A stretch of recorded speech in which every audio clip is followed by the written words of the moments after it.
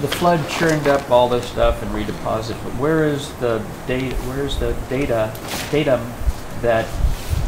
That supports this differential sorting of minerals. Yeah, where's the baseline for this whole thing? What's, u- upon what was this great churning Right here. accomplished? Right here, the original creation. Um, Those originally, of course, were horizontal, and they were on top of this stuff.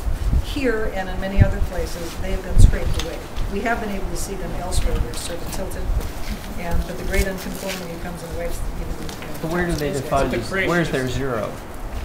Where's their zero? This is, zero. this is the creative. uh, world. Now, they will argue that there's no place on the planet where you can see the entire um, uninterrupted geological column.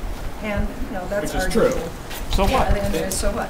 Now, we might not be able to get the whole shooting match in one whole big sequence, but we got a hell of a lot of it down here, and there's other parts of the world where we can pick up the pieces that are missing. For example, here, we don't have these missing strata, but we do have those missing strata elsewhere. So we In know that those strata were So- laid down over the basement rock slopes before the Tapeats was laid down. I mean, that's what geologists do, you know, I mean, these guys do a hell of a lot of work mapping Okay, strata very, you know, it, it's an awful lot of work to map all of this uh, planet of the Earth of ours.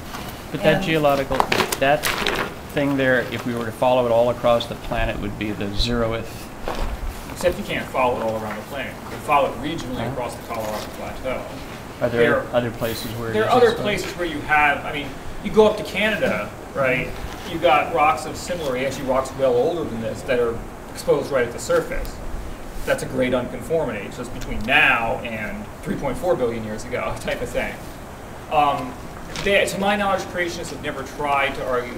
I mean, it's so hard because again, I, the thing I keep trying to come back to with them is that there is no internal consistency to their model from place to place. You can't take their model and take it someplace else and use the exact same explanation and have it work.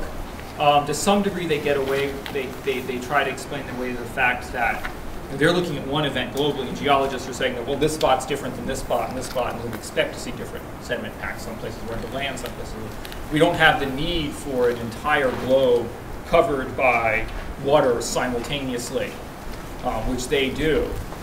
And in that's- fact, there's a lot of observations that don't work at all. Yeah. Remember when we passed uh, through the faults? Remember, uh, I'm sure your boatman pointed out the faults to you. Yeah. Um, creationists have to explain those as well. And their argument is that when those faults occurred, the strata were all wet.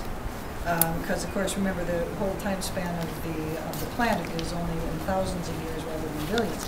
And so all of this stuff was laid down, it was still soggy, and the faults occurred, and they believe that, that this sort of catastrophic faulting of wet strata is much more believable than the kind of argument from standard geology, that they are hard strata which just gradually b- were bent over incredibly long, long periods of time. That part of it, that's not even the geological explanation. It's not they're bent over long periods of time. It's just that they're under enough overburden pressure that when the fault does reactivate and only slips 20 or 30 or 50 feet, the rock is able to deform rather than break.